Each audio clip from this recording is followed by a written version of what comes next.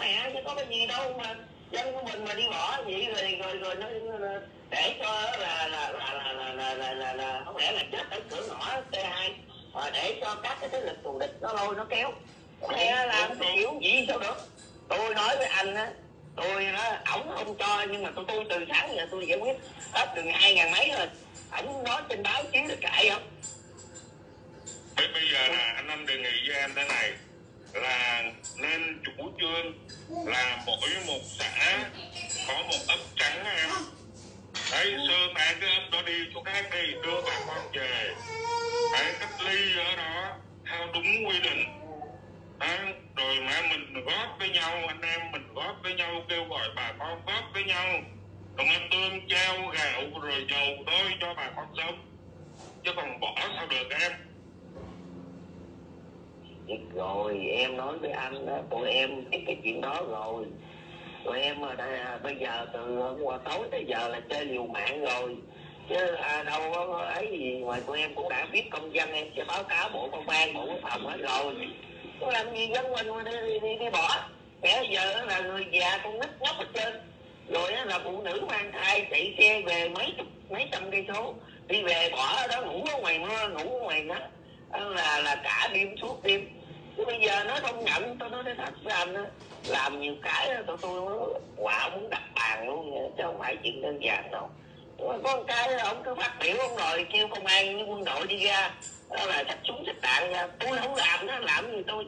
Tôi nói với anh á, đem súng đạn ra này kia nọ, tới tôi ra lệnh tôi nói đủ, không cho thằng nào được quyền, đủ trấn áp dân Ủa mẹ, thằng nào muốn ra đó làm thì giỏi làm đi.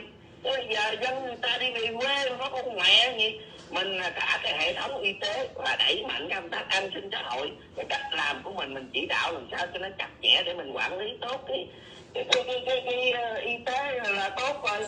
Uh, địa phương nào nó yếu thì mình quy động xuống. Uh, anh em công an quân đội y tế rồi tập trung xuống tiếp nó. Có cái gì đâu. Thì bây giờ áp lực trong vòng 5 ngày 10 ngày thì nó hết thôi. Chứ không lẽ năm ngày qua năm nọ sao mà thở dữ vậy? Trời đất ơi trời mà ông cứ lên báo chí ông không cho về rồi ông ngăn cản đồ này ông cản đồ kia. Sáng giờ ông chữ tôi cũng tan nát hết trơn rồi cái mẹ nó tới đâu hay tới đó chứ không lẽ cho là- bỏ được. anh anh nói với em một câu nữa thôi nha. Thằng con anh trưa ngày hôm qua đám dỗ ông nội nó phải chưa kịp phát nhang rồi em lệnh cho nó đi đó. Nó xuống chơi anh có nói với nó cái gì cái nha con lệnh con trấn áp dân con không được phép nha. Anh nói với nó như thế. Anh nói với nó một câu này nè. Con người ta đó không lẽ thua con vật? Con vật đó là con gà chết 3 năm còn quay đầu về tổ. Con cáo chết 3 năm còn quay đầu về núi. Thôi cố gắng hoàn thành nhiệm vụ nhưng mà phải tỉnh táo. Đó anh nói với em vậy đó. Rồi từ sáng tới giờ anh suy nghĩ lắm muốn điện cho em. Đó, để nói cái cái suy nghĩ, cái tâm tư của mình. Nhưng mà anh rất mừng là em đã có cái suy nghĩ, em xử sự rất là tốt. Chứ bây giờ sao bây giờ? Em nói thiệt với anh, bây giờ em nói thiệt. Nhiều khi mẹ trong ờ, làm gì mình cũng phải có tổ chức, phải có kỷ luật. Nhưng mà có một cái là ông cứ chống đối. Mà hồi sáng ờ, em nói thiệt cho anh em điện báo, cáo cả thứ trưởng, bộ công an. Mấy anh nói đủ mà bây giờ mày tiếp nhận mẹ nó đi, không có cái gì đâu. Đó. Rồi là có cái vấn đề gì nữa, sau này bộ công an chịu trách nhiệm. Ổng mấy em bực luôn không có nói con mẹ gì trơn giờ, chứ liệu bây giờ mà, bây giờ ổng lên báo chí ông nói là ổng không tiếp nhận người là tự ý đi về đồ này kia nọ cái thứ.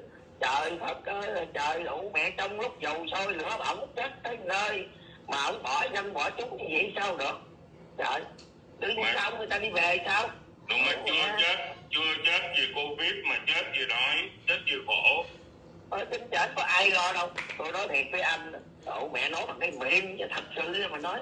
Trên sài gòn đó nói bằng cái miệng thôi chứ có ai mà lo ủa mẹ nó bỏ là coi như là chết bờ chết bụi rồi nó bạo loạn rồi nó nó thứ này thứ kia. Chứ đâu có người ta có ăn có mặc ai mà đi về để làm cái gì? Đúng đúng đúng. Nói. Mẹ rồi cuối cùng người ta chạy đi về thì mình cứ tập trung mình lo bằng nhiều cách. Thì dân của mình có hai ngàn sáu tới nhiêu công an nó điểm danh hết rồi. Thì bây giờ đó là bây giờ thì phải tập trung ra mà lo nhiều cái y tế rồi là an sinh xã hội rồi là cách ly. Thì mình làm cố gắng làm tốt thì trong vòng 10 ngày nữa thì xong thôi, chứ có cục mẹ gì đâu mà không làm. Tôi quá nơi đủ, mẹ tôi nói thiệt nhiều cái tôi cũng buồn. Nhưng mà tôi nói là, anh, sáng nay à, sáng giờ cũng chửi gụm chân rồi tôi nói chửi chửi lộ quá, bình thường thôi, còn nếu mà chửi quá tắt điện thoại. À con mẹ gì? Cậu mẹ làm sao bảo vệ cho dân được rồi? Con mẹ gì, sợ gì? Rồi, anh anh nói với nơi này nè thật lòng anh rất là cảm ơn em. Bởi vì từ sáng, từ chiều tối ngày hôm qua là anh đọc báo rồi anh theo dõi trên mạng. Anh lo lắm. Anh suy nghĩ hoài, em bận rất là nhiều việc. Muốn điện cho em từ buổi sáng mà mà ngồi suy nghĩ hoài. Bây giờ điện cho em em nói được những cái câu nói đó, anh mừng dữ lắm anh ơi à anh mừng không có gì đâu. Tụi em mà không có cái gì đâu tụi em nói nói chứ.